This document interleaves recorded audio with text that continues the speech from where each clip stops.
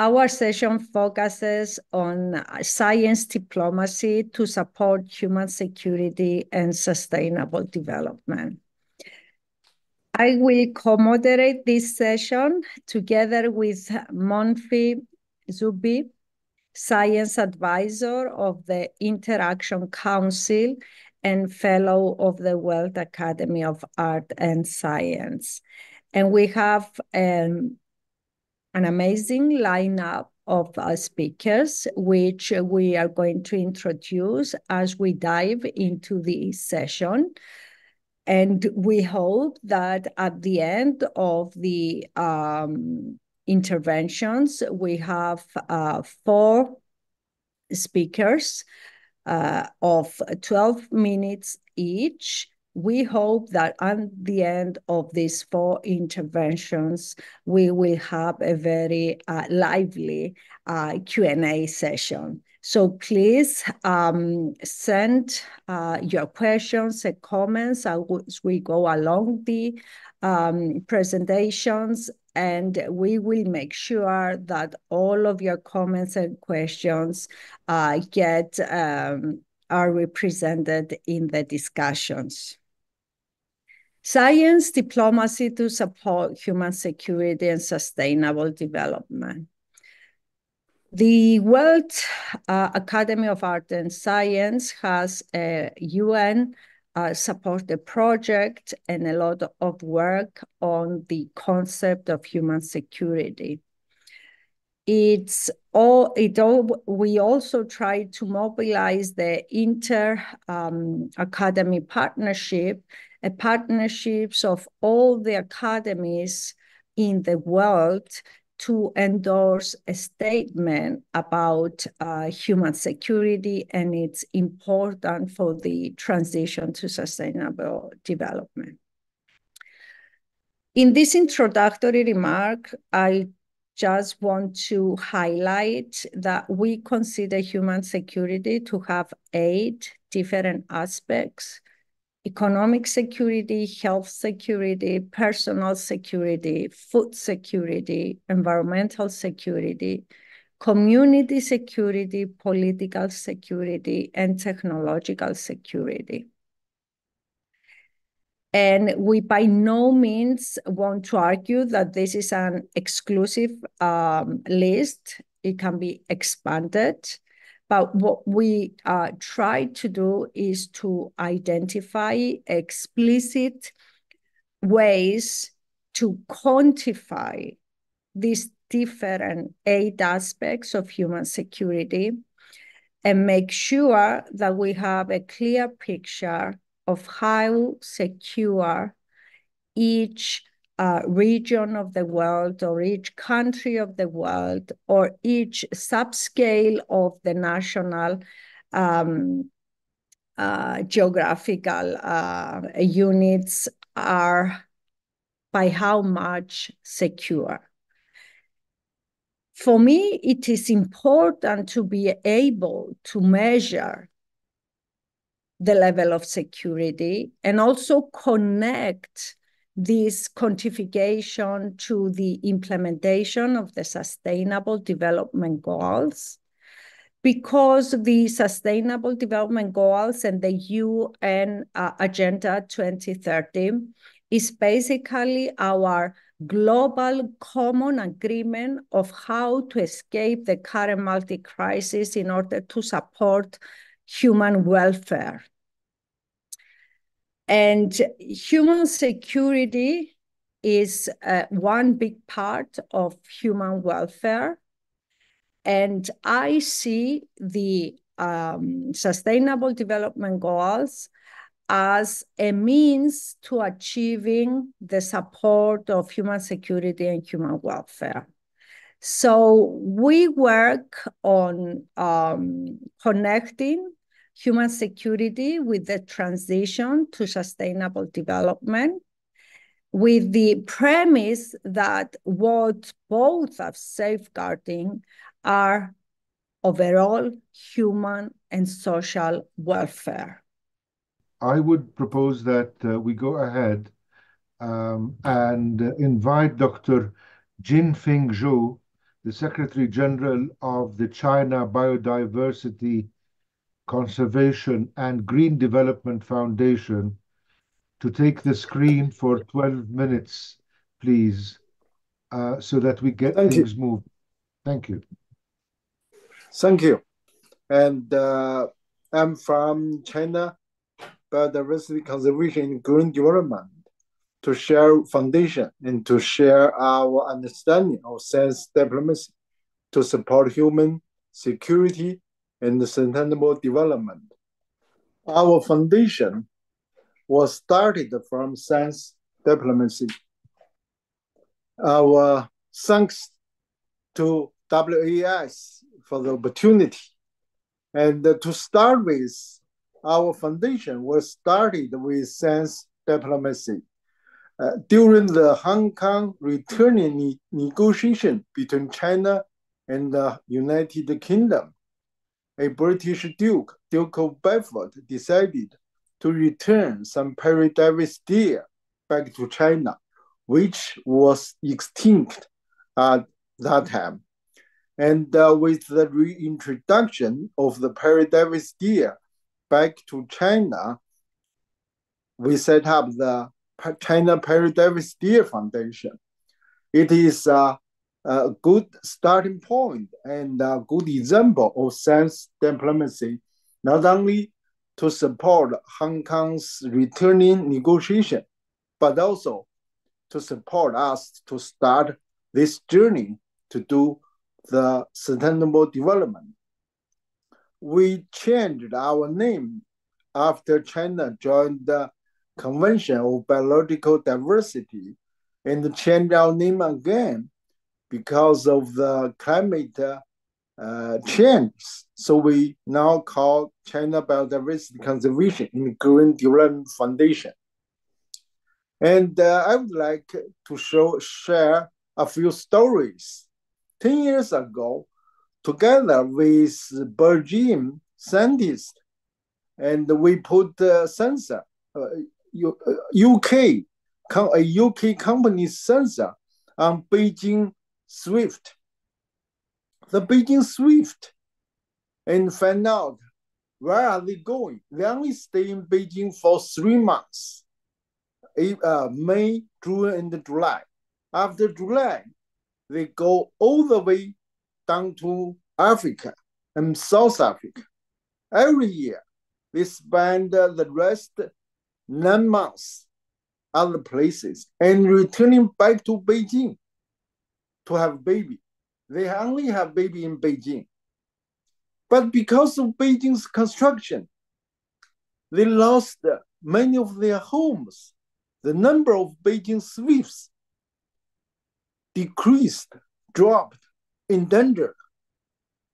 And because of their home at Beijing lost their home in Beijing, those Beijing swifts, so-called Beijing swifts, but they spend most of their time in Africa. They eat termites, they eat bugs, they eat mosquitoes. Without the, the swifts, those ecosystem will, find, will have serious problems. So that is human security. Whenever, wherever there is a hole, we're on the same boat. Wherever there is a hole, the boat will sink. No matter where you stay, you are not secured. This we found this 10 years ago, and we are going to do further start research on this to find out the climate change will that affect their behavior. That is science diplomacy. And another, the second story is about uh, a conservation area. China local authority are planning to apply for UNESCO's heritage. We visit the Ramsar. We talk to the uh, UNESCO, try to stop them because there is a special area which is not included in the heritage, but which should be included to protect those migratory birds. After our efforts, I fly to uh, to join the, the Ramsar COP to talk to the secretary, executive secretary. And uh, through all our efforts, finally, the local authority added, put that special migratory birds habitats into the heritage. That is a great success of science diplomacy. This is another story. In uh, 2018, we had with support of local uh, people, we hold a China Africa Wildlife Conservation Cooperation Forum in Johannesburg, South Africa. Through that forum, we talk to local Chinese and uh, to stop to stop pangolins hunting, to stop illegal pan pangolin trading, which is a very serious issues for the species of pangolins in Africa. That is through that uh, forum, uh, together with scientists and the local authorities, we set up the cooperation. That is also part of sustainable development. The fourth story is about the uh, spotted seal. Spotted seal are also listed in red list in endangered. With UNEP, with GEF, with uh, surrounding the governments, including South Korea, Japan, we set up a series of workshops to talk to villagers, to youngsters about how to protect, how important it is to protect the sea spotted seals, which is uh, part of uh, to secure our uh, marine lives. The first story is about Madagascar. 20 years ago, the forest coverage of Madagascar is over 90, non-zero. But now it's about less than 20% forest coverage. Why is that? Because of the rosewood, because of the business. So we, in China, we're trying to fight to stop rosewood uh, furniture's business to stop those illegal business trading.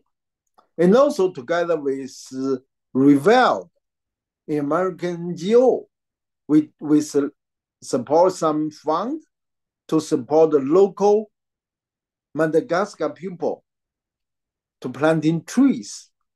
That is also, I think, is a very significant uh, part of sustainable development. The next story is about uh, the conophytum, a special plant. Now it's very popular in China. You can easily purchase them through internet.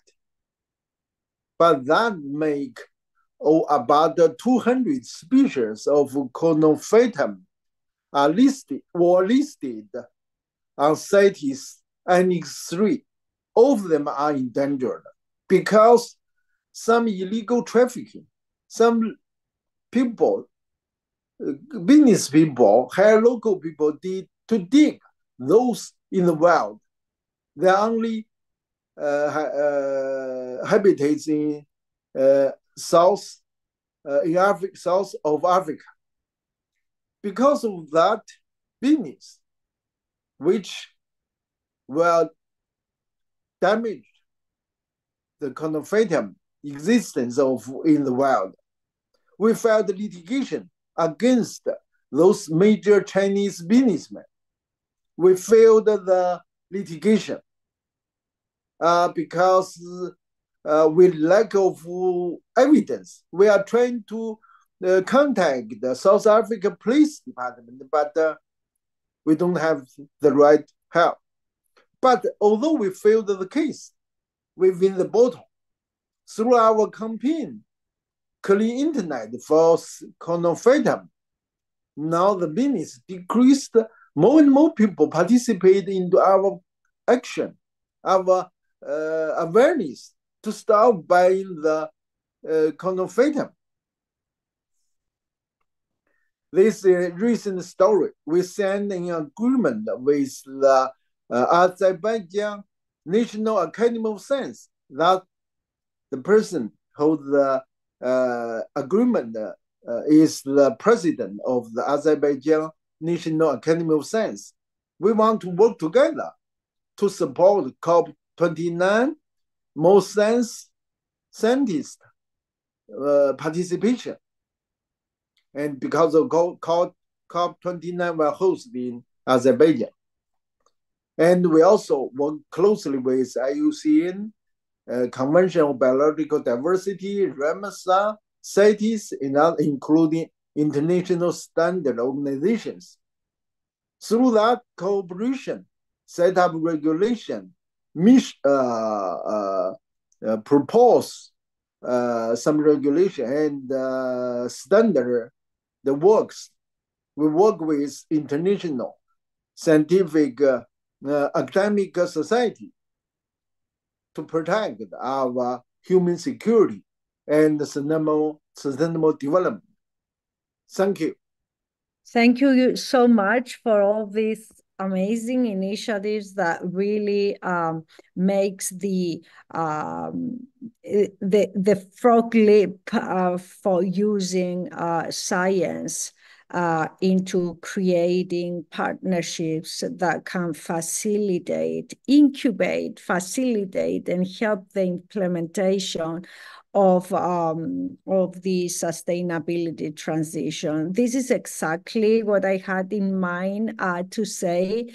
Um, need to do. We scientists need to uh, go out there to look other stakeholders, be it policymakers, politicians, businesses, financial institutions, the civil society, and gain their trust with regards uh, to the scientific solutions that we have, but at the same time invest in providing capacity, knowledge, skills for all other stakeholders to understand the solutions and feel confident to use them to become part of the labor force of the um, ecosystem of different stakeholders that will actually implement the solutions. And that's why science diplomacy is uh, crucial.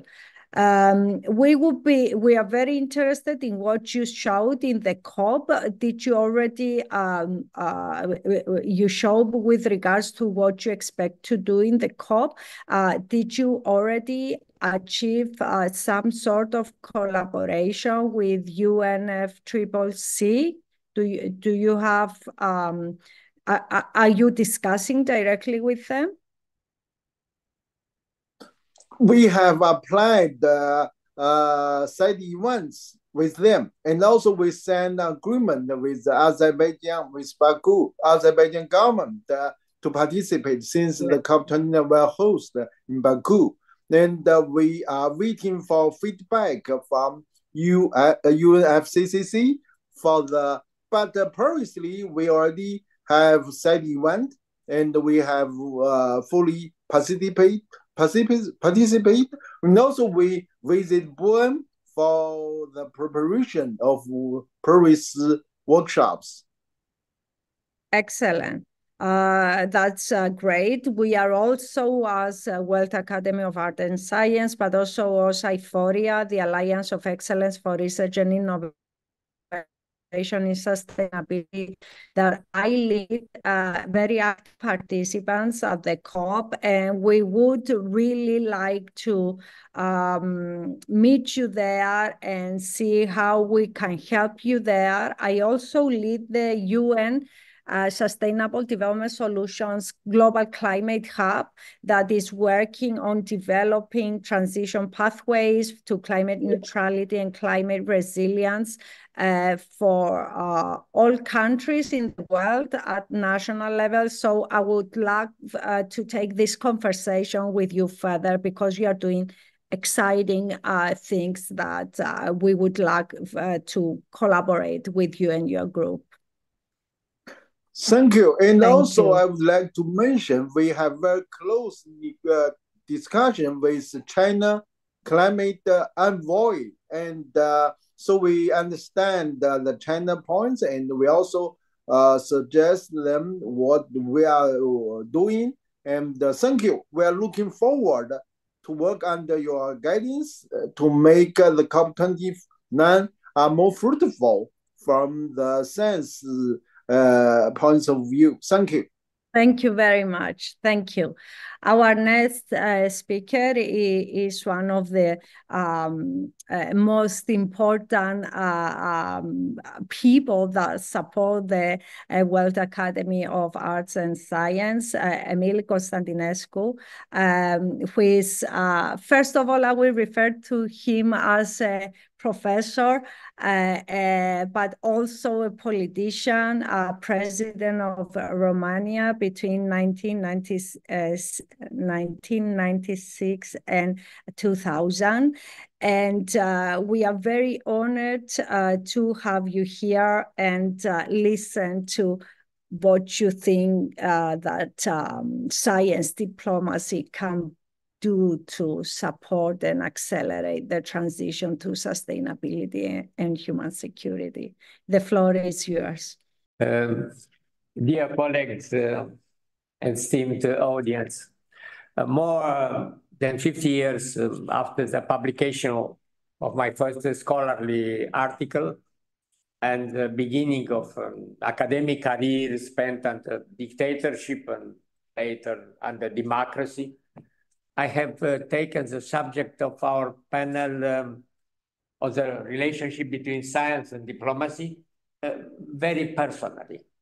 And uh, I would like to begin by uh, sharing my experience with you. Uh, I first um, exercised classical diplomacy as head of state between 1996 and 2000 at a moment of rupture in history the end of Cold War and the collapse of criminal communist dictatorships. Relations in the academic world were useful to me, as uh, was my experience in the National International Association of University Rector, first and foremost in order to adequately uh, manage great egos in the political uh, environment also. Uh, after my presidential term, I returned to civic and academic life. First, um, practicing uh, cultural diplomacy in the Balkan Political Club, uh, designed for uh, reconciliation between nations that had been scared by secular conflicts in Balkans especially, and in Eastern Europe. And then, um, as president of the Academy of Cultural Diplomacy in Berlin, uh, where I launched um, the Levant Initiative for Global Peace uh, and uh, built a postgraduate system of master and doctoral programs in uh, cultural diplomacy uh, as part of um, network of universities designed to promote the culture of peace uh, through education. when um, I had the honor of being elected as a fellow of uh, then uh, and then uh, trustee of the World Academy of Art of Science. I understood that it was possible to take my effort to the next level. The election of Garry Jacobs, of president and CEO of the Academy, has deeply transformed the former ivory tower academic milieu opening new channels of communication between the academy and uh, the global economic, political, and social uh, environment. Our problem today is how best to use channels for what we can call uh, science diplomacy to support uh, human security and uh, sustainable development. First, uh, let's set the uh, record straight. Science has only one objective, the search for truth. The result of scientific research can be and have been used for the advancement or destruction of mankind. It is uh, the scholars themselves who are responsible for the ethics of science. The success of uh, scientific diplomacy depends on their prestige. The World Academy of Art of Science was formed in the 1960 after the end of the Second World War. Einstein, Oppenheimer, Fleming, John Bernal, and these other founding scholars were known and respected throughout the world. They used the prestige they uh, had gained in academia to use people to use the achievement of science for peace, not war. Only 15 years has passed since uh, the nuclear bombing of Hiroshima of Nagasaki. We can say that their initiative had the positive consequences because uh, uh, to this day, nuclear energy has not been used to destroy human life, even if this uh, had been achieved through a balance of fear. But the deterrence uh, through mutual fear has, in fact, been uh, the fundamental method of classical diplomacy for its inception to present day.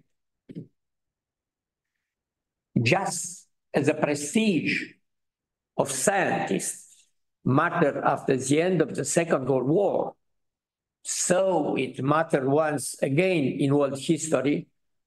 At the turn uh, of the century in the 1990s, after the end of Cold War, when the peoples of the world that had self-liberated from the criminal communist dictatorship of the Soviet Empire after its collapse, elected by free popular votes in all liberated countries of Central and Eastern Europe, leaders from academia. For those who do not know, I can list a few such countries. Poland, Czechia, Hungary, Bulgaria, Estonia, Latvia, Lithuania, Armenia, and Romania. we academics from the former communist states experienced the transition from an authoritarian state to the hope of a society based on humanist ideas. And uh, we are now experiencing the disillusionment of an increasingly interest-based and profit-driven society, which has uh, meanwhile invaded, invaded the academic milieu. My question is, is there any real prestige for scholars in society today? Is their voice still important?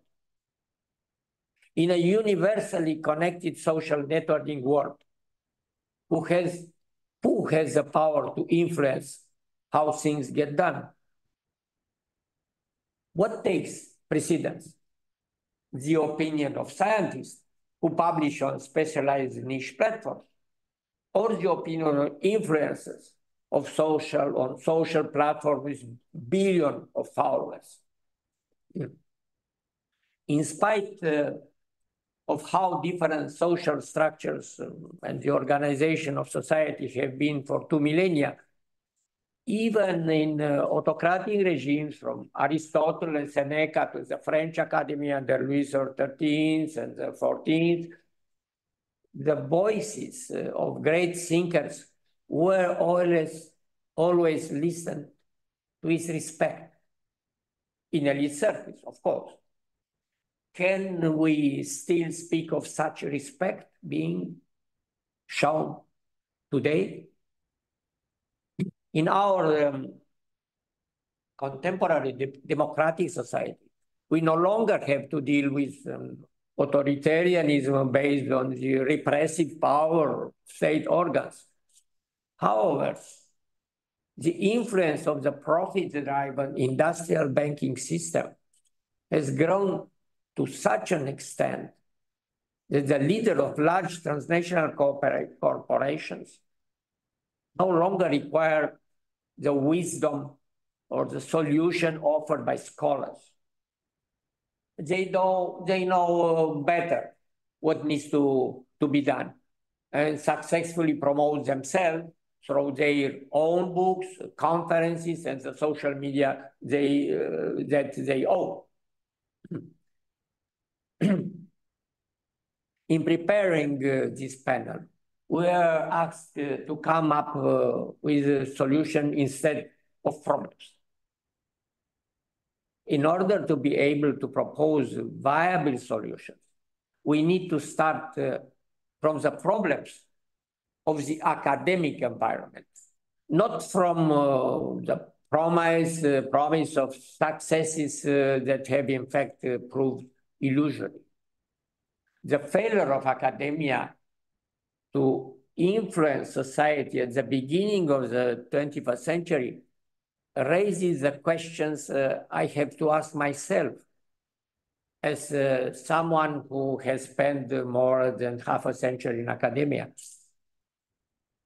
Where have the scholars of the 21st century gone wrong? I would, I would list uh, just a few directions.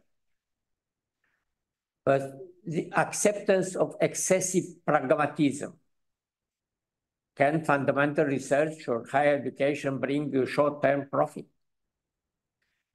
The excessive idealism in the construction of political strategies based on uh, Jean-Jacques Rousseau's principle that man is dedicated exclusively to the good.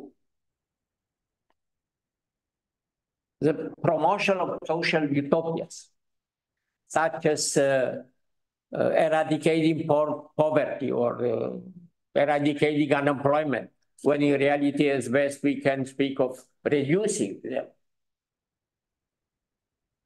Um, the self-subordinating attitude of scholars working in the public arena toward the communication specialists of United Nations, view bureaucracies uh, who have created a popular language uh, of wars to which uh, they have given symbolic meaning to cover the lack of deep and nuanced thinking.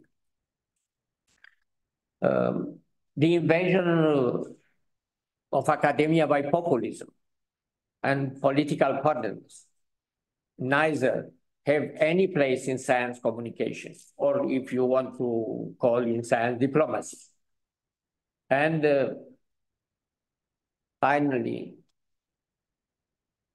the academic uh, reaction to no history, no culture slogans coming out uh, from uh, university. I believe uh, that the priority goal will be to avoid the rupture of our contemporary society from uh, the humanist culture that underpins it, uh, which is under threat by the very technological progress we cheer. In order to have success in society, we must first focus our efforts on um, the academic milieu in its relationship with a younger generation from which decision makers of tomorrow will be drawn. Do we wish uh, to offer use information or impart them knowledge? Do we wish to instill a spirit of confrontation or dialogue? Are we preparing professional careers or building strong characters? And uh, will we be capable of deploying our experience to these ends? In the, the current condition, it is difficult to speak uh, of a bright future. Over the past years, um, I have had the opportunity to address uh, large numbers of youth, uh, both in person and online. Um, 50,000 joining from uh, Islamabad in Pakistan, uh, 60,000 students in Lucknow in India, and 30,000 youth in Seoul, uh, South Korea.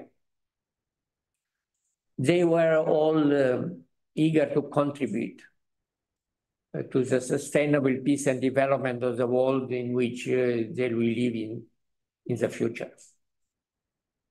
Perhaps uh, where uh, there are many problems and much suffering, there we may also find uh, greater hope and individual uh, involvement. If um, our experience uh, is to be useful, then perhaps uh, like and ancient Greeks uh, used to say, will we have the merit of those um, who saw trees in those shade, they know they will never see. Thank you. Thank you very much. Um, so um, I just wanted to ask very quickly, but I'm sure your intervention has aroused lots of interest. Uh, you mentioned that science failed. Um, uh, however, I think uh, that one could also argue that science produced an array of solutions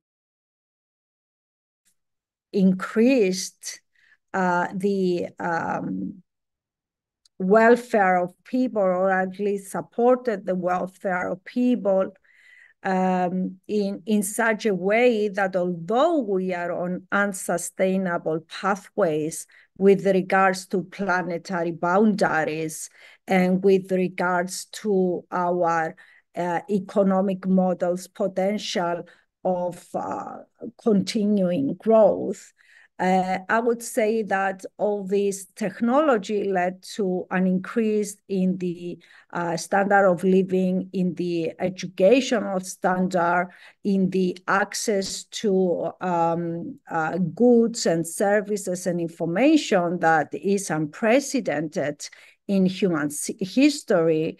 And one would argue never before, at least in the developed world, so many people had access uh, to good um, uh, had access to the means of living a life that would uh, that they do today. Never before did we live such a life. It is unsustainable, yes, but in uh, the bigger part of the Western world, this is a life that allows you access to education. It um, allows you access to the basic, uh, uh, to the goods and services that support your basic needs. And uh, at the same time, allows you uh, to uh, choose uh, within boundaries, but have a freedom of choice with regards to your um, to your um, uh, future. So in, in my perception, and this is very personal, uh, uh, humans uh, have, uh, at least in the developed world, have achieved a huge acceleration uh, with regards to uh, their ability to sustain um, a welfare and standard of living that is far beyond what we could imagine a hundred years ago. And all of this, and most of this has to do with uh, the, the science, what science produce uh, that uh, as solutions to basic problems uh, that provided technology and access to uh, natural resources and access to educational resources that are crucial. Don't, don't, don't you think that all this powerful uh, ability can be transposed into one that is also sustainable rather than just saying that science uh, failed? Um, first of all, I agree totally what you said because uh, represent uh, historical uh, historical reality.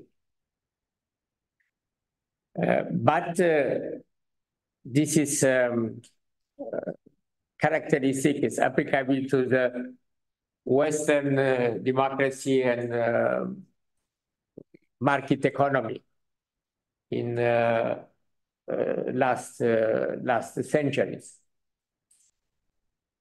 Um, why we we need to know the history? Because now perception or this relation between uh, science, technology, and the progress of society is not so clear. Firstly was science. In the Renaissance, uh, uh, Renaissance period, science uh, prepared uh, the fundament, fundament for technology. Uh, in the moment of fall of Constantinople, a part of uh, intellectuals and scientists migrate to Italy and Western uh, Europe. And the moment um, Catholic Church admit um, the Greek, uh, the Greek um, testimony of culture and science, and uh, was the first university, was a place where science uh, uh, becoming exceptional development. And after was the relation between uh, technology and ability of technology to use uh, um, resources, natural resources. This is a period, but remembering, we must be remembering this relation, science, technology, uh, progress. Uh, now is, I mean, in my opinion, personal opinion, is a moment of decadence of Western civilization. Why? Because it's a rupture between culture and civilization. Civilization without culture is a moment of, uh, of dissolution. When I um, uh, formed the Institute of uh, Advanced Study of Levant culture and civilization. Idea was um, to uh, come back to the roots of Western civilization. Uh, Greek democracy, um, Jewish, uh, Christian uh, religion, normal, and uh, uh, Justinian Code. Justinian Code was in Constantinople, not in Roma. And also we need to keep in our memory mythology, what represented culture in others of the soul. Now is a, just a moment when, in, in my opinion, we, we must focus on uh, um, in artificial intelligence artificial intelligence, the moment of, of uh, Carrefour in, in French, uh, the moment, of, moment to decide what, uh, how is important uh, to keep humanistic ideas, conscience, human conscience. Uh, sure, uh, this is a problem of um, Western world. But now it's not possible to talk only about the Western world and the, the rest of the world. uh, is a simple, uh, I accept all uh, you, you, you, you said. Uh, uh, argument is don't exist migration to Russia, for example. Don't exist mig migration is to Western system, democracy and uh, market economy. But now is a moment to, to think what is the future of market economy? What is the future of Western civilization? Indeed. Indeed, we are at this very crucial uh, point in time. I fully endorse what you said about consciousness and, the need for science to be culture informed and connected. And this was an amazing answer. And I hope many, many people can watch it on video. Uh, thank you so much. Uh, I, I, to uh, due to the uh, time limitation, I need to give the floor to my uh, co-moderator, uh, uh, Dr. Moneef Zou'bi, uh, to continue with the rest of the speech. I'm very grateful for all that has been heard until now, and I'm looking forward to the rest of the discussion. Thank you very much, Phoebe. Thank you very much, President Constantinescu and uh, Professor Zhou for some outstanding ideas that you've talked about over the last couple of presentations. Uh, we still have two more eminent speakers to go. Uh, without further ado, I would request uh, Marcela Muñoz, who's, uh, who works for a fantastic organization in Geneva she is Executive in Residence Fellow at the Geneva Center for Security Policy. Uh, she is also the Strategic Partnerships Director at the Geneva Science and Diplomacy Anticipator, which is a fantastic organization with a fantastic name. Um, and she's a member of the Advisory Council of the Democracy Lab. Uh, Marcela, you have the screen for 12 to 15 minutes, please. Thank you so much, uh, Dr. Moneef, and thank you, uh, WAAS, for inviting me to this very interesting conversation. It's, so nice to hear so, so many different but complementary ideas with the view to place us in a better place, I would say, in terms of upholding human security, uh, sustainable development, and also thinking about the future. And perhaps uh, my intervention is, is, a little bit uh, of that, because uh, as it has been said this afternoon, we are living in a golden age of science and, and technology. And there is exponential acceleration of these developments um, with longer term implications that those uh, we might uh, think about uh, sometimes because we're uh, pressed uh, to tackle the current challenges and sometimes tempted uh, also only to have perhaps a shorter view of, of what's coming our way or what is already in our face. And I think that um, this is important to highlight because these developments are affecting humans, society, and the planet, which is exactly what uh, Dr. Su was also mentioning. And, and they are not happening in isolation. And there are, as we know, big private investments. Uh, trillions and billions are being uh, channeled towards the development of science and technology. There is some public investment, but not as, as huge, as important in size and, and, and in alignment, perhaps, um, compared to, to private technological development. And, and that raises questions. That raises questions uh, in terms of uh, perhaps increased inequalities, increased divides, which is exactly what we want to prevent and hopefully uh, de-escalate and bring the benefits of science to all. So I, I think that it is important uh, perhaps to recognize that science is not benevolent. It's not a benevolent force, but it's a multiplier of power. And, and in this context uh, in which we live today, which is very complex, uh, geopolitically speaking, but also as uh, humanity faces ex existential uh, threats, but also amazing, amazing opportunities that we have never had before, particularly if we were to tap into the potential of, of scientific and technological breakthroughs, I think that we need to remind ourselves what unites us. And, and in that case, the Sustainable Development Goals is our common compass, I would say.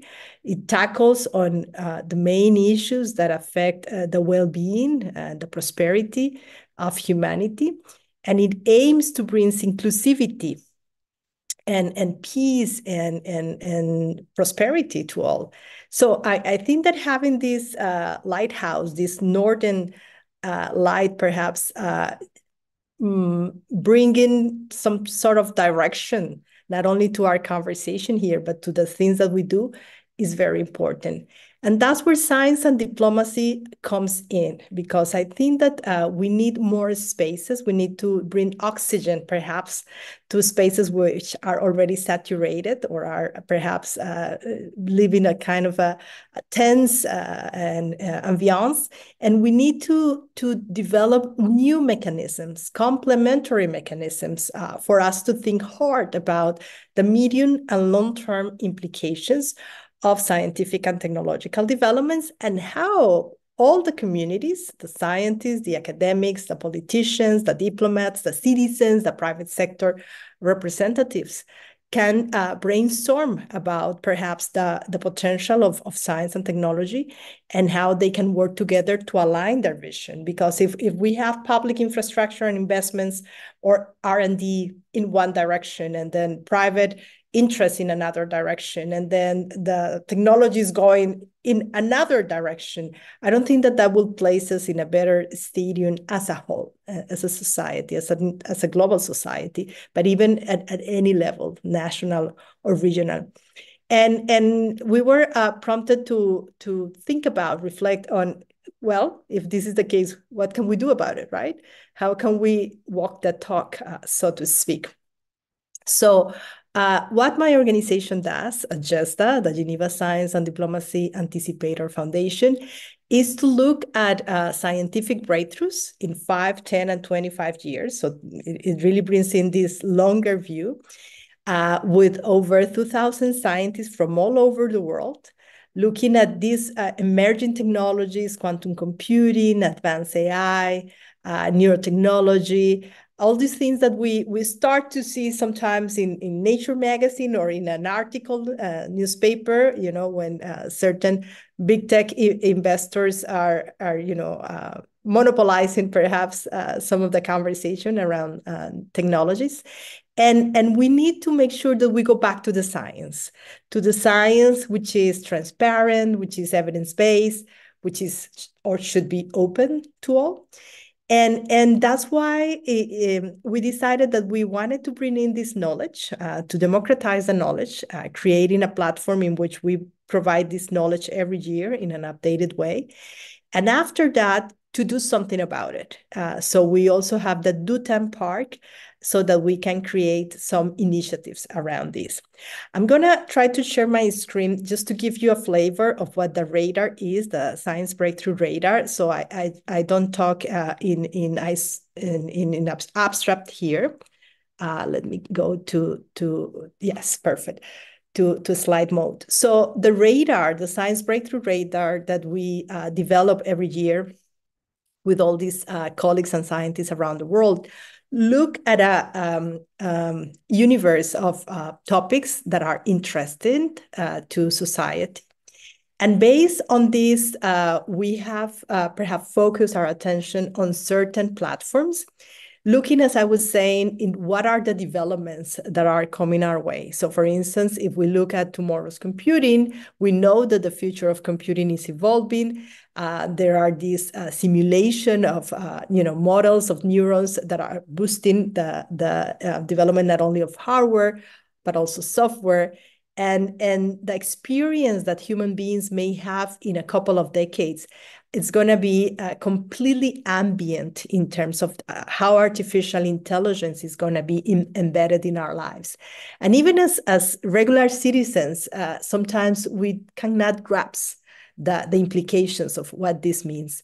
And, and we also know that the future of internet is, is quantum and, and that it's going to really uh, you know, extrapolate and take to the next level the power that uh, many uh, different areas and fields like encryption and sensing and communications are going to bring. And we want to prevent that this is not monopolized, uh, but shared. And, and if we go into the mind, for instance, neurotechnologies, uh, we're talking about next generation of implants and all these uh, brain uh, computer interfaces uh, with implants or devices that are invasive, invasive or not. There are uh, the two types. And we see a very promising future in, in the field of healthcare and, and medicine, you know, uh, for instance, perhaps uh, restoring mobility to people who have lost uh, this capacity. But we can also think about the uses in, in the military domain and we can uh, perhaps imagine enhanced soldiers uh, not too far from from from today. So this is not science fiction. These are things that are being developed. And i think that not only governments uh, or private sector companies need to pay attention to to these developments but we need to develop a futures literacy ourselves you know as, as regular uh, human beings. And and finally perhaps my my last example will be on anticipating complex uh, systems, uh, talking again about how perhaps artificial intelligence, but other emerging technologies can help us in having more participatory systems and you know stronger democracies and governance mechanisms in which we all can can have a voice. So this is the radar. This is the think uh, part of what we do, uh, and after uh, we develop. Um, a methodology in which we curate dialogues with all stakeholders and we brainstorm about ideas. And based on that brainstorming of ideas, uh, we try to accelerate uh, solutions. And uh, we're a very young organization. We only started in 2019. Uh, but I can already proudly share with you one of the initiatives that we have uh, incubated, which is the Open Quantum Institute. Um, this institute aims uh, to provide a platform in which big tech companies provide access to technology, uh, to quantum computing in these cases. And then we can try it out with simulations, uh, perhaps applications for the future of food systems or for water management, for climate change, for decarbonization, things that can really boost our achievement of the SDGs. Uh, so when I hear the Secretary General of the United Nations talking about uh, turbocharging the SDGs, I think that uh, we need to think hard of how far we are in that direction and if would it be uh, smart perhaps to come up with science diplomacy mechanisms like you know coalitions like the one that i'm presenting to you now with this slide in which you have governments you have big tech companies you have academic institutions international organizations developing already today uh, simulations for uh, the use of quantum computing for good and also trying to anticipate uh, governance uh, mechanisms that uh, can uh, get us uh, there. So um, I, I, don't want to take a, a, lot of time because I know that there will be opportunity uh, to have um, Q&As, which I am pretty much looking forward to. Uh, but I just wanted uh, to share some of the of the approaches that uh, you know, based out of Geneva, but also with this global aim, uh, is is undertaking, uh, trying to make sure that we can use science and diplomacy uh, for good and to activate already today initiatives with the promise of, of science. Thank you so much. Thank you very much, Marcela, for an outstanding expose, you talked about uh, science being um, the multiplier of power. You talked about us, the science community, the decision-making community, identifying or aligning our efforts to identify our Polaris, our uh, North Star. And I think as we have uh, the vice president of WAAS here and an eminent trustee of WAAS, I would think that WAAS is eager to have a slot within your network of organizations that are actively collaborating to come up with new ideas. Um, uh, with that, we move along to our uh, eminent Vice President, uh, Donato Kiniger-Passigli, uh, who's a thinker and a scholar. He's the last speaker in the session, and after his presentation, we will have Q&A time permitting. Um, Donato has just written a beautiful article in the uh, the voice of the um, Italians, a New York journal. Voice of New York. Voice of New York. Oh, I'm sorry, the Voice of New York. Uh, um, uh, and you're welcome to have a look at that after this session. We can share the link, I think.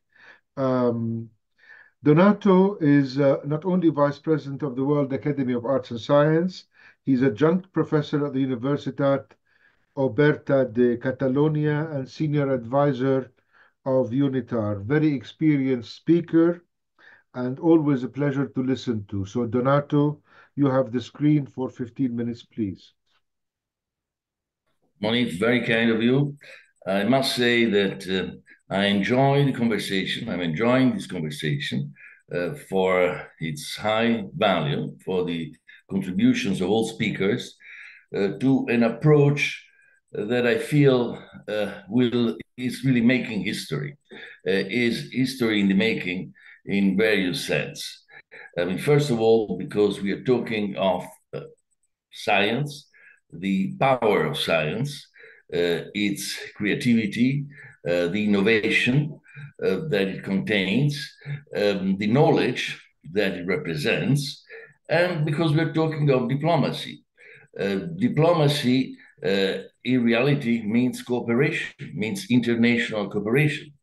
We heard from Emil, uh, whose remarks I really appreciated a lot, uh, because uh, he uh, reconsidered the value of humanism uh, throughout history, uh, throughout our common history, and, and said that, of course, there are many threats, and we have to reposition ourselves in our discourse for a better humanity through our own um, tradition, through, through our, our own record, I would like to say. Uh, and that is so important because in any kind of uh, negotiation, when we are, since we are talking of diplomacy, uh, in any kind of dialogue, we should never forget who we are we should always start from uh, the premise of uh, what do we represent uh, in at this very moment and what we represent in history. So I really appreciated Emil's comments that were not negative at all. I mean, I, in fact, he agreed with Phoebe when uh, uh, we said, what is the value, what is the trend? The trend is not uh, uh, well, it may appear negative in many ways when we talk about peace advancement or uh, a better quality of life for all. Uh, in spite of all the agreements that we are reaching, it looks like we are not progressing that fast, especially uh, in, in the field of the sustainable development goals and its implementation. We are very much lagging behind. But on the other hand, it's also true that we should look at these questions with pragmatism, but also with a certain degree of idealism. And this is how we can really match and make the best out of uh, science uh, for diplomacy and science in diplomacy. What uh, Emil uh, reminded us also is the concept of uh, uh, science diplomacy uh, during Renaissance. And since, since after all, I'm a Florentine, I'm from Florence, Italy, I think it's good to remember the fact that in those epochal days, uh, the, the, there was no difference between art and science. Uh, the, the concept of art and science, I mean, somehow took uh, a deviation or, uh, uh, but later on, because of hyper specialization, uh, forgetting the fact that we are talking of uh, creativity, we are talking of uh, uh, tradition, traditional knowledge, and sense of beauty. I mean, and the whole thing goes together. And, and when we relate uh, to different cultures, when we relate to people in different environments, we should always try to represent, I repeat, represent the, uh, the best of our knowledge. so this is science in that sense. It's really what science can bring. Uh, and, and what it does in reality for the present and future uh, generations. So, sharing knowledge uh, and expertise is certainly part of science diplomacy nowadays. collaboration and research um, and, uh, and, and, and sharing information across borders. This means really ultimately the uh, importance of, uh, um, uh, of, of, exporting, as I said, the concept of, of peace. In the article that you kindly mentioned, uh, Moneef, that is just an anticipation of a, a larger essay that will be published in Cadmus very soon uh, with Cadmus is our uh, uh, feature magazine of, of, the World Academy with uh, the forward of Garry Jacobs. Uh, there we will talk about more examples in, ter in terms of what I call a peace offensive. Peace offensive uh, is uh, in a provocative maybe um, term uh, that has been used in the 60s. Uh, and when actually we, uh, those who were actors at the time made strides and, and obtained uh, some uh, great uh, levels of success in terms of mediating results through uh, science, through knowledge. And that's how we had uh, fantastic openings in, in dialogue, uh, you know, between um, between USSR and and uh, and United States, uh, Gorbachev and uh, Reagan. this is how we obtained also openings in the Middle East. many are the examples that are captured in this piece that will be published, and I hope it will be uh, bring some uh, uh, um, some food for thoughts in this discussion. what is also relevant in the use of science and technology for diplomacy and diplomacy is its effect uh, for uh, the gradual reciprocation in the reduction uh, of uh, the uh, aggressiveness, I would like to say, uh, uh, and uh, um, the the level of concessions that can be made on one side versus another that help the dialogue, that help constructively instilling confidence. That's why we talk about peace, peace offensive. These reciprocal concessions that can be made in in situations of conflict and we are unfortunately witnessing so many intractable uh, situations of conflict, but science diplomacy can have a beneficial effect. Of course, there are fields uh, where we see, uh, when we talk about uh, climate change, when we talk about biodiversity, um, when we talk in general of technological innovation, where this is all already bringing fruits. But more can be done more, even more than what uh, came out of the Paris agreements uh, uh, in 2015 for climate change. More can come out if we uh, use uh, more and more uh, the approach of science in diplomacy. So science in diplomacy consists of the fact that not, not necessarily you um, uh, create bureaus of uh, scientists that support traditional diplomacy.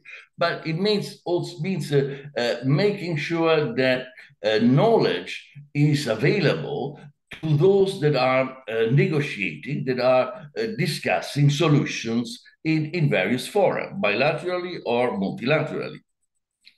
This is, is very important because we are not just talking uh, of promotion, it's not is not marketing, and, and as in many cases it has been in the past. I mean, it's not just promoting my best technology, my best uh, uh, uh knowledge uh, in order to affirm um, certain uh, certain uh, marketing shares or, or gains. that's not the ultimate goal. The ultimate goal is really enriching the dialogue, stimulating that, and finding mutual solutions, finding solutions that, Moneef, you are very much aware of those with the sesame examples that you have been uh, uh, one of the promoters of, uh, where in, in many cases uh, we can see that uh, countries or, or, or, or even uh, local entities that might be rivalries in certain fields, they come and they start uh, uh, cooperating, and and they normally start cooperating uh, from um, the, the the grassroots level, from the local level, and then you build up this sustainability. you build up this, you scale up actually those interventions in order to make them uh, profitable for all. Uh, so once solutions are profitable for all, obviously uh, you also surmount global challenges and you improve diplomatic relations. I want to mention um, I hope we still have time. Uh, one of the activities uh, that uh, uh the World Academy is uh, very much into it these days, uh, we are very much involved, is the promotion of science diplomacy with the International Parliamentary Union. It is not represented in this discussion, but we had a, a specific, specific slot during this conference uh, dedicated to it, and you can find a record about it. That is extremely promising because, as you well know, uh, parliamentarians represent uh, people, uh, represent the legitimate interest of people uh, in all, countries, and they must have access to the best possible knowledge in order to improve also their lawmaking uh, capacities, to improving uh, the, the, the, laws itself that they prepare, and uh, they, they pass, uh, and, and review them and make sure that, again, their, um, their political sense is accompanied by at all sides and in, in, in, all time uh, by a scientific knowledge. So that is also a function of uh, uh, I would say, not necessarily of scientific uh, diploma, science diploma, but of scientific knowledge that uh, has to be coupled with policy and therefore ultimately when with diplomacy when we enter a multilateral field. So this, uh, I believe, that will be also a key in the resolution of many of many conflicts worldwide. And I feel uh, personally, I know, uh, Moneef, I would like to hear your opinion about that. I know we have time now, but I know uh, that you, as I do, uh, we feel uh, that much can be done uh, from a, scientific, uh, in our perspective as well, in order to uh, resolve conflict or trying to resolve conflicts and trying to, to have a rapprochement uh, among among uh, enemies that ultimately among people in particular they may have uh, the same sentiments. Uh, and so that has to be uh, worked on across borders with knowledge transfer for sure um, overcoming challenges uh, and and and, and certainly um, you know working towards re resilience. So this is work towards resilience through the uh, the um, diplomatic, uh, diplomatic efforts and science diplomacy, as Mar Maricela has shown to us, uh, that I think is possibly an ingredient for successful diplomatic initiatives in the future, as it is right now. Um, there are many examples that illustrate that. I don't know if we have time uh, to mention them, uh, but I think that uh, uh again in the Middle East, uh, but also uh, in Africa, in, in, in, South America, Asia, etc., we have very ma many many examples of successful initiatives that needs to be boosted, that needs to be reinforced and brought to the uh, knowledge of the people because as someone said before lots of this information is not shared So we need to find a way, a system uh, to make information available to all. Thank you, Moneef. Thank you very much, Donato. That was a fantastic expose of uh, uh, the ideas or the nexus between science and diplomacy and science for diplomacy. Um, and incidentally, I've shared the link to your article, which appears in the Voice of New York. You can have a look at that if you like. Um, thank you also, Maricela, for your excellent expose. Um, uh, I think we have about four minutes, uh, of which I will utilize a couple of minutes just to not summarize what we've uh, uh talked about this afternoon. Uh, however, maybe to try and capture some um, guidelines that we can promote at WAAS, the World Academy of Arts and Science, and at uh, uh, collaborative uh, meetings with uh, uh, organizations such as GESDA and other organizations.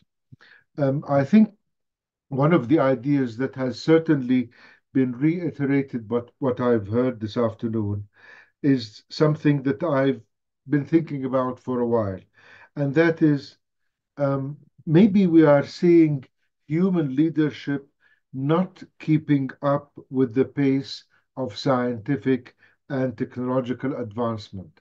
That is the capacity of our decision makers all over the world to keep up with the pace of science, technology, and the advancement uh, uh, um, uh, happening in the scientific domain is not really fully appreciated by um, politicians and decision makers.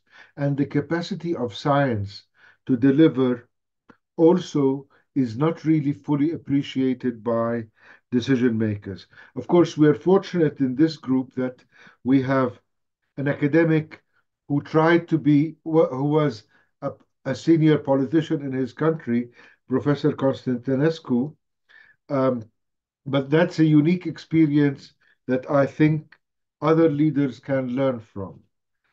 Uh, secondly, I would say that even education is not really keeping up pace with scientific and technological advancement. By the time that a teacher delivers an idea in a math class or a physics class or a biology class, some clever kid with an iPhone can find the answer to the to the the problem at hand in in in less than a femtosecond. Um, so that is an issue that is affecting education and affecting the worldview of our students um, in understanding what's happening in the world. Thirdly, and my final point, I think this session has reiterated again something that I've believed in for a very long time, and that is science is a transboundary, trans-civilizational phenomenon. Science cannot be exclusively belonging to a certain culture or a certain civilization. Um, it's like science transcends cultures and civilizations. Uh, some scientific development might take place in China. The fallout from that, the result from that will be felt all over the world in a, in a very short time. So that is something that we need to be aware of when whenever we are trying to frame science diplomacy for for decision makers. And because the problems we face as a human race are transnational, climate change is transnational. You do not have a country suffering from climate change or water shortages or energy problems, insecurity. It's, it's a phenomenon that crosses borders. Borders have no meaning uh, in the face of phenomena such as climate change and loss of biodiversity, for example. And this is why I think we as a human race, we're lucky that we have science and technology at our disposal as a human race to address global problems. Um, that is an issue that I think we need to focus on whenever we're conveying um, ideas to um, um, to decision makers and politicians. Um, now, if there are any questions, I think we have about we've been given some eight more minutes, which is great. Um, so um, I don't think there are any, any questions, but uh, if I may, uh, I'll invite Emil uh, to um, provide one or two words of wisdom at the stage after at the conclusion of this session, and then I'll invite the other speakers and my co-rapporteur, Phoebe, to wrap up. So, Emil, the screen is yours for two or three minutes if you kindly uh, share with us some ideas. It's uh, difficult for me in, uh, in such a company of uh, high intellectuals and scholars. Um, for me, now uh, it's important uh, to think on this special relation between uh, cultural diplomacy. Cultural diplomacy was my field uh, in last uh, uh, 24 years, and uh, science diplomacy. Um, is different together is different from classical diplomacy. Classical diplomacy based on, on power, political power, military power, economic power. Uh, cultural diplomacy and science diplomacy is different. It's, it's a soft, soft diplomacy, but it's different between difference between us. Why? Uh, cultural diplomacy is a fun, fund, fundament of cultural diplomacy, understanding the other. Because we need to keep this extraordinary diversity of cultures to respect uh, identities, cultural identities. It's important for all people, not only politicians, to understood difference between uh, political borders in, for example, European Union and cultural borders. What represent uh, uh, European culture uh, without uh, Russia, without uh, literature, Russian literature, art, music. It's not related to political regimes in the long, in the long space and time. Um, if uh, cultural uh, diplomacy representing possibility to understanding other culture, other identities in a real dialogue, in a, for Phoebe, uh, in a Greek uh, philosophical dialogue is not between two persons. Dialogue is representing uh, at the end of debate, the level is, is more high for, for both. Uh, if um, cultural diplomacy is under, possibility understanding the other, uh, scientific, uh, so uh, Donato uh, said, scientific, science, diplomacy have not borders. For me, I am geologist, geologist uh, in science. And in geology, don't exist border, political border. Mountains is the same rules in from uh, in Alps, from uh, Pyrenees to Himalaya is the same, on despite of the political borders. Uh, science uh, uh, diplomacy is an instrument because at beginning was the same, the same language, language of science. And also is a problem of confidence And uh, what I said is important to uh, the sense of science, uh, science diplomacy focused on scientists, of scholars. It is a duty for the scholars to cooperate in this uh, large, uh, large uh, community of scientists. But now is important to insist, to insist, to insist on the moral problems of uh, capacity, all history of humankind was a history of using the scientists discovered for uh, progress or for destroy, destroyed uh, humanity. And now is a, is a last moment. I hope um, inside of uh, uh, World Academy of and Sciences to continue to talk about was um, our lady colleague I salute the problem to insist on artificial intelligence because uh, what said before is a difficult moment when technology is uh, advanced and uh, conscience, the problem of conscience now is, is important. Thank you. Thank you, Excellency, for a wonderful wrap up. Uh, we have two minutes. Um, Donato, uh, yeah. Professor Zhou, are you there? Yes, I'm here. Are you? Okay. Well, we can give you 50 seconds. you... Thank you. Uh, yes, because of uh, the sense Zhou, Go ahead and then Donato.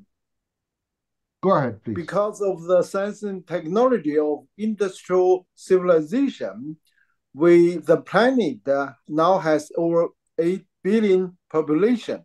And also that sensing technology make our planet broken our final habitats.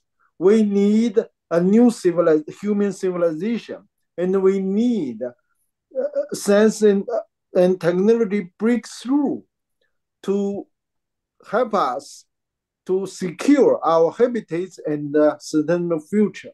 And that the sense, the new sense in technology will not let us down, but we need to tackle our issues. Thank you.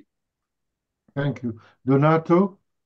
Well, I believe in partnership, in partnership building, and I think that um, science diplomacy is the perfect tool to forge new partnerships and to reinforce the ones that already exist.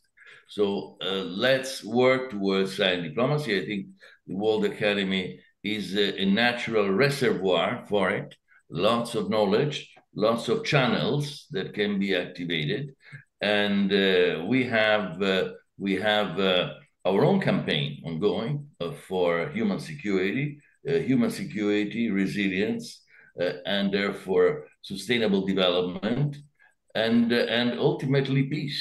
Uh, so this uh, campaign that I think should unfold and continue unfolding uh, towards peace, towards this peace offensive that we can all conduct together. Last but not least, Phoebe, my co-chair, please. Okay, so uh, I would like to say that um, I think we all agree that uh, science uh, combined with uh, transformative uh, technologies um, uh, create uh, new pathways for making progress on difficult national, local problems. And it is instrumental that is used as a force for goods I mean, in the 80s, the development of new refrigerants uh, helped eliminate the opposition for the enactment of the Montreal Protocol. I just want to say that uh, science offers solutions, but I, I agree that uh, what we also derive from this uh, talk is that we need to build trust between mm. science and all other stakeholders in order to give space for mutual understanding and then enable this mutual understanding to function as a platform for advancement. Uh, Garry is also with us, the president of, uh, uh, of the World Academy of Art and Science. So I would give the last minute to Garry. Can we do that, uh, Moneef? No problem, of course. Uh, Moneef, Moneef asked me to give a word of wisdom to close our discussion. I think, uh, I think Erasmus in Rotterdam said it best that science without conscience is a ruin of the soul. Agreed. Thank you very much. Garry, you have the screen for a minute or two, if you like. That's hard to follow Emil's quote. Uh, I just want to say briefly, first to thank you all for a very, very stimulating, important discussion, doing exactly what we'd hoped that our panels would do in this uh, WAAS at 64 we're not, we didn't come here to solve all the problems of the world. We came here to ask the most important questions that the Academy should be focusing on as it goes forward. And I mentioned in the chat, it just so happens that the issue so beautifully raised by Emil and responded by others about the apparent and, and real contradictions uh, that have to be reconciled between the development of pure knowledge uh, and the use of that knowledge as a double-edged sword. The very next session coming up in the B stream uh, is a, a session on the future of business education and how we recognize and train the next the future generation of our leaders to understand the entire range of issues that have been discussed in this meeting uh, because uh, business is uh, a real source of power in the world, and we need that power. We need it to be used in the most constructive ways possible for the betterment of all. And that is a challenge for us, and I thank you for bringing it out uh, so eloquently in this discussion. Thank you all very much. Uh,